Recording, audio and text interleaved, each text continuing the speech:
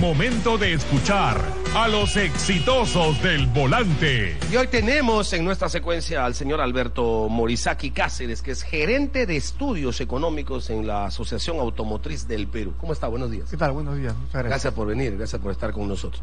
Eh, vamos a hablar del parque automotor y de lo, de lo que significa en ese parque automotor el uso de GNB. ¿Cómo está? Bueno, ha venido aumentando el, el número de conversiones en los últimos años. Eh, el año 2022 llegamos a un pico más o menos de más de 70 mil conversiones En un año. en un año, en el 2022, en una coyuntura donde el precio de la gasolina, acuérdate que el 2022 pues el precio de la gasolina subió de manera importante, incluso el galón llegó a ser a estar más o menos 30 soles el galón, en una coyuntura de aumento del precio internacional del petróleo. En el 2023 eh, también um, eh, fueron importantes las conversiones, más o menos 55 mil conversiones de vehículos a GNB, menos que el 2022, pero mayor al promedio de los últimos años. ¿Cuál ha ¿no? sido el promedio de los últimos años? si antes del 2022 habrá sido un promedio de qui- 10.000 conversiones al año, ¿no? Antes del 2022 que llegó un pico, ¿no? Entonces, estos 55.000 de 2023 igual es un número importante, lo cual permite que actualmente vehículos GNB activos que están cargando este GNB hay más de 315.000 vehículos a nivel Ahora nacional. mismo tenemos 13.000, 315.000 vehículos 315 mil a vehículos. nivel nacional, ¿no? Que cargan este GNB, GNB. correctamente. Me Porque imagino que la mayoría, el 70, 80, puede estar en Lima, ¿no? 85%, más del 80% está en Lima, ¿no? El, re- el Es- resto Ese puede ser un problema por, por el asunto para que no haya mayor dinamismo, es decir, que haya mucha concentración de las empresas, en este caso proveedoras del insumo,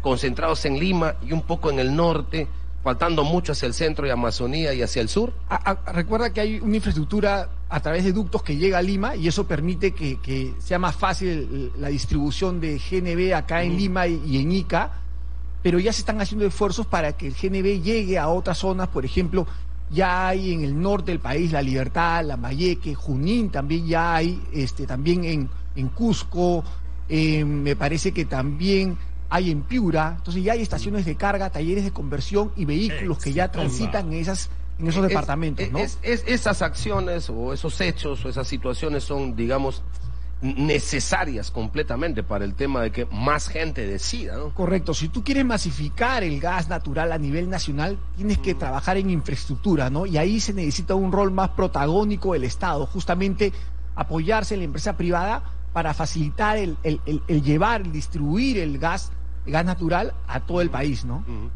Eh, y entre la gente que está, que ha decidido el 22, está diciendo el 23, el 21 y todo a este ritmo que usted nos ha señalado, que haya más de 300 mil vehículos, eh, ¿qué, qué dicen de la experiencia? ¿Hay algún tipo, digamos, de contacto en el que te puede decir, no, me va bien, me va mejor, Bueno. o no me ha ido como yo pensé? ¿Cuál será la, la, La experiencia, la de experiencia es buena porque el ahorro en cuanto al uso del combustible es importante. En el año pasado se ha ahorrado más o menos a nivel nacional, se ha ahorrado más o menos 1.500 millones de soles y en lo que va desde que el GNB está funcionando en el país, más de 20 mil millones de soles se han ahorrado. Ahora, por ejemplo, Más de 20, 20 mil millones de soles. Uy, por qué ejemplo, qué una persona que hace servicio de taxi, que trabaja entre 10 y 12 horas, transita 200 kilómetros al día, con gasolina gastaría más de 2 mil soles. Con, con GNB, el, el costo sería de 650 soles, un ahorro de más del 70%. que mensualmente. Me- eh, mensualmente, correcto. Corre- No, es, es decir, claro, mensualmente es lo que se ahorraría la persona. Es decir, al, al- claro, al mes gastaría 2.100 soles en, en- en gasolina, en GLP gastaría algo de 1.100 soles, pero en GNB el gasto sería de 650 soles. Es un ahorro de más del 70%. O sea, Eso, eso la gente lo ve directamente. Así es. Y no O sea, solamente- al- en, en el momento que está en el auto ya. O sea, y no solamente es el ahorro en cuanto al uso del combustible, sino hay un ahorro en cuanto al mantenimiento del motor también, ¿no? Mm. Importante. Ahora, eh, los otros actores en esta cadena, las, las empresas proveedoras, en este caso de, de vehículos, eh, y, y en estas, en- y en esta situación, ya sea de gasolina o a GLP, porque también están haciendo conversión a GLP y a GNB, ¿cómo están actuando? Eh, ¿Se ve, digamos, mayor decisión? Eh, ¿Están sintonizando mejor con el mercado? ¿Tienen dudas sobre el asunto?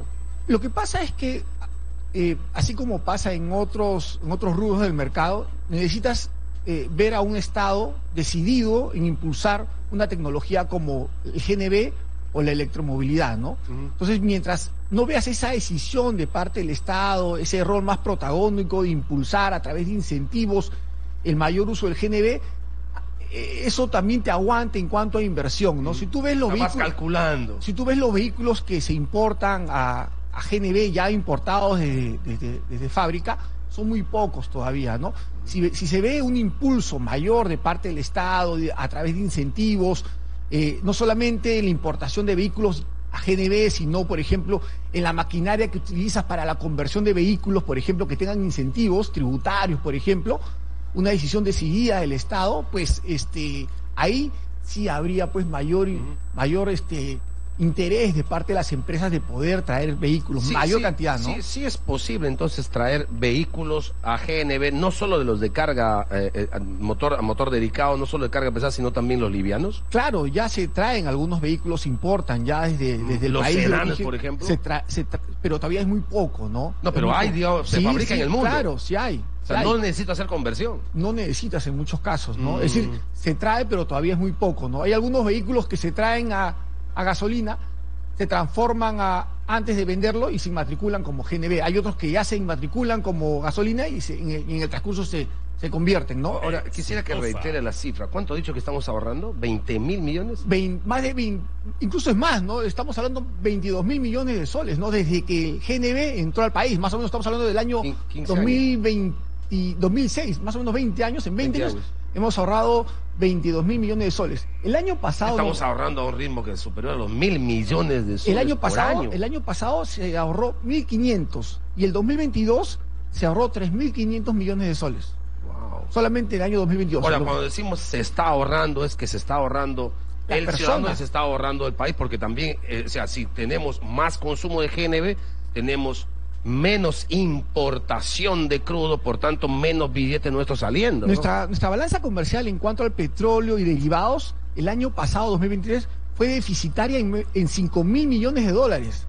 Para que veas lo deficitaria que es, la cantidad que Nuestra importamos. dependencia de un es. insumo externo. Y no sol- 5 mil millones de dólares. Y no solamente hay ahorro en cuanto al, al consumo del combustible, tienes que tomar en cuenta que es un eh, el GNB es limpio, es ecoamigable, genera menos eh, gases contaminantes y eso mejora la calidad de vida de las personas. ¿Y eso qué lleva? Que el Estado tenga que gastar menos en salud, en enfermedades cardiovasculares, enfermedades respiratorias, la persona no se enferma, es más productiva y genera más crecimiento económico. ¿no? Entonces, todo es un círculo virtuoso. Sí, sí, definitivamente. Ahora, hablando sobre los talleres de, de conversión, ¿qué opinión le merecen los talleres de conversión? ¿Cuánto han mejorado en tecnología? Eh, ¿qué, tal está el mecanismo de control y fiscalización de parte del Estado? Es correcto, está bien, vienen aumentando, hay más de hay, hay talleres de conversión, estamos hablando de cerca de 300 talleres de conversión, muchos de ellos todavía en Lima, más o menos este el 80%, 85% de los talleres de conversión están en Lima. Lo bueno es que a la par con el aumento de, de- de la necesidad de las personas de cambiar, de convertir su vehículo, también ha aumentado los talleres de conversión, ¿no? Por ejemplo, el año, eh, el año pasado, ahora, al cierre del 2023 tenemos 295, pero al 2022 teníamos 240 talleres de conversión. Ok. Entonces, eso ha venido acompañando la necesidad, buscando satisfacer la demanda de, de la, de la gente, ¿no? Mm. Eso ha ido bien. Ahora, exactamente lo mismo que decíamos en el asunto de la provisión de la- del gas, para que aumenten los talleres de conversión, para que hayan más talleres en otras partes del país y no solo en Lima, se necesita una real masificación. ¿no? Así es, ¿no? Y eso lo logras con infraestructura, ¿no? Actualmente se hacen Pero los si esfuerzos. pero o sea, si to- todos los con los que yo hablo me pintan el tema del GNB como un muy buen negocio y está clarísimamente que es un muy buen negocio.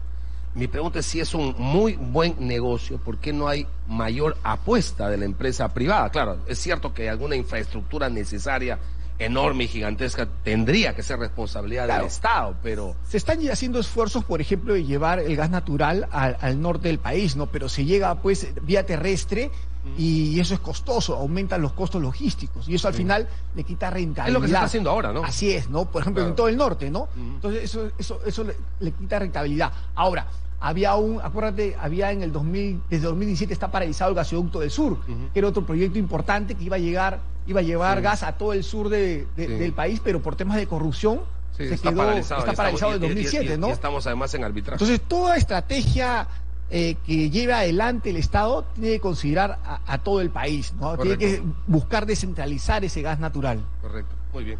Ha sido muy gentil, señor Morisaki. Gracias por haber estado con nosotros. Muchas gracias a ustedes. Eh, Alberto Morisaki Cáceres, gerente de estudios económicos en la Asociación Automotriz del Perú, ha estado en nuestra secuencia Los exitosos del volante.